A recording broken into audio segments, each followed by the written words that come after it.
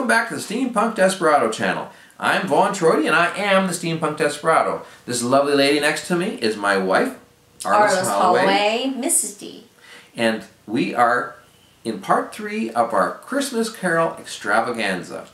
Last Christmas, we took upon ourselves a momentous task, which was to view as many versions of A Christmas Carol by Charles Dickens as we could possibly find. Some were wonderful, some were awful. Part one, we did our favorites, our, fav- our favorite versions. Part two, we did the worst versions, possibly good for hate watching or mocking or throwing popcorn at the screen or that.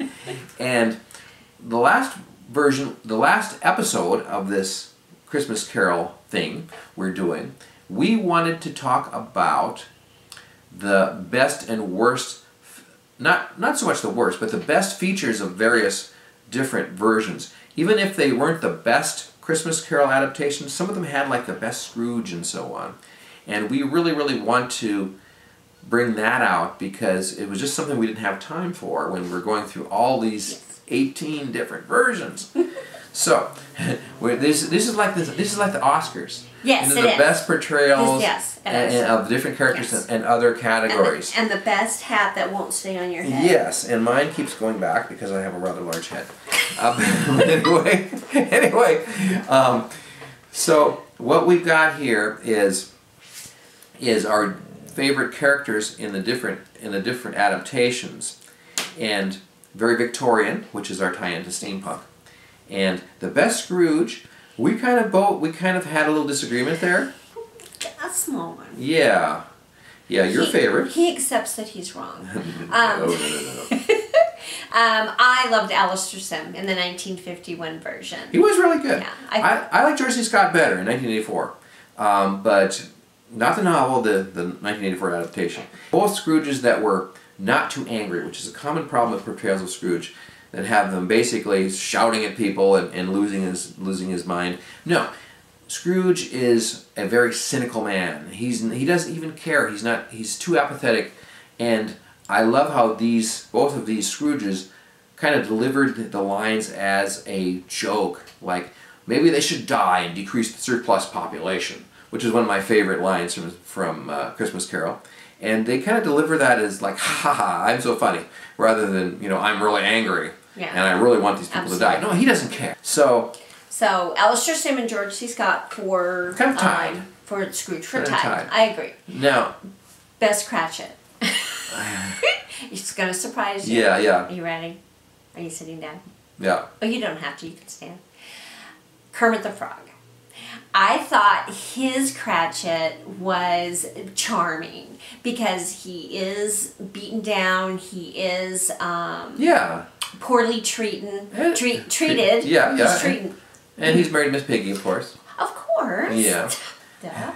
Um, and then Tiny Tiny Tim um, was really awfully cute in that too. That so- little frog that The um, I forget his name. He has a name. He, He used to appear in the Muppet Show a lot, but I forget what it was. Um, I, I liked Kermit. I thought he Yes. was very very sweet and very charming.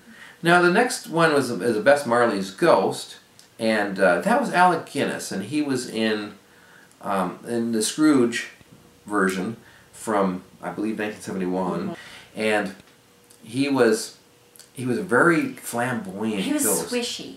Yeah, he kind of comes in with his. He's kind of doing a little dance like like the uh, chains or feather boa or something like that. Never knew he had it in him. You know, Obi Wan Kenobi, who would have known? And when Scrooge asks him to sit, he sits on thin air, which is which is really awesome. Yes, Because he's a ghost, of course he can do that. Very cute. Now we the Ghosts of Christmas have to have to do them. Now, first of all, Christmas Past, best Ghost of Christmas Past.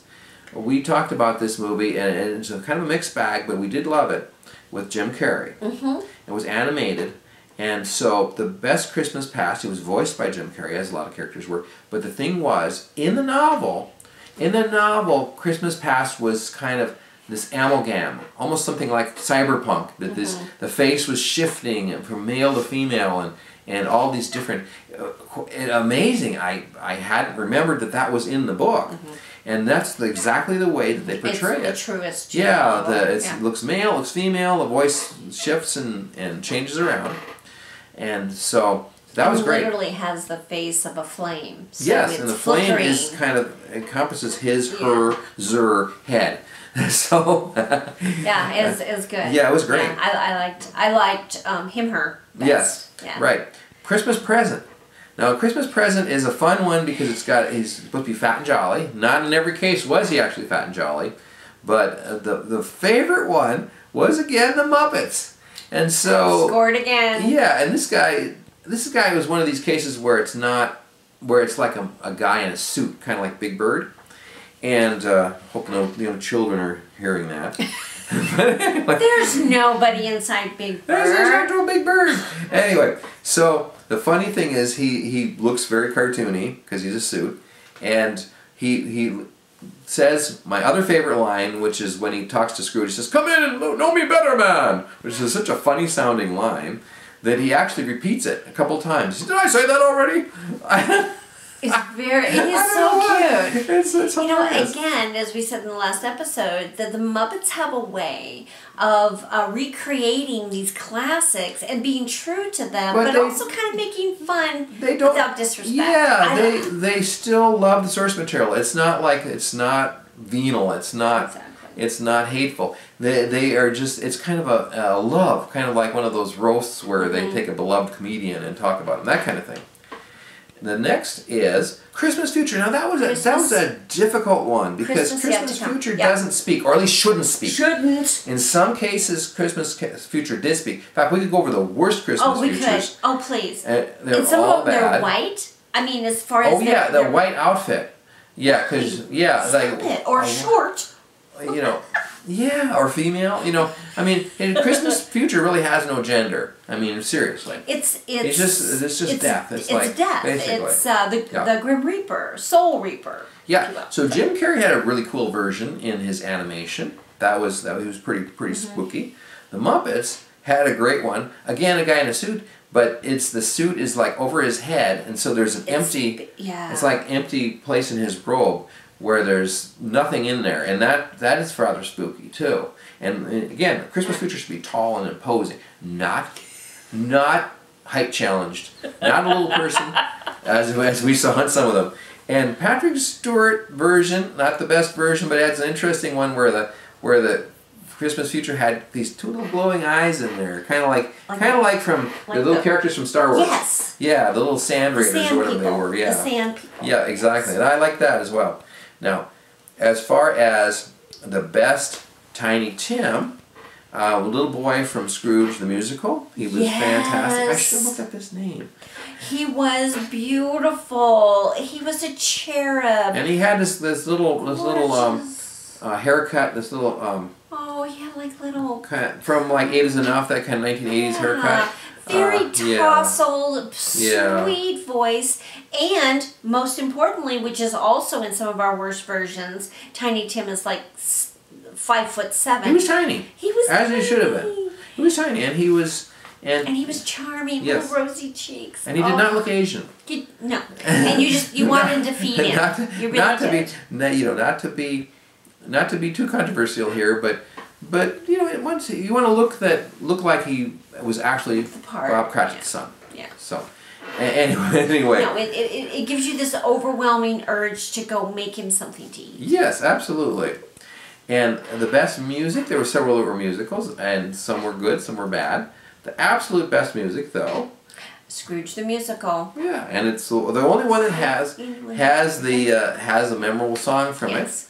it uh, which is celebrating Scrooge's death And the choreography was choreography was great, and uh, they also it was a very much like if you remember the, the musical Oliver, which is a bit more popular than Scrooge was. The songs are very much like like that. It reminds you kind of like consider yourself at home, that kind of thing. yes, it's that kind of music. Yeah. Same people, I'm sure. Yeah.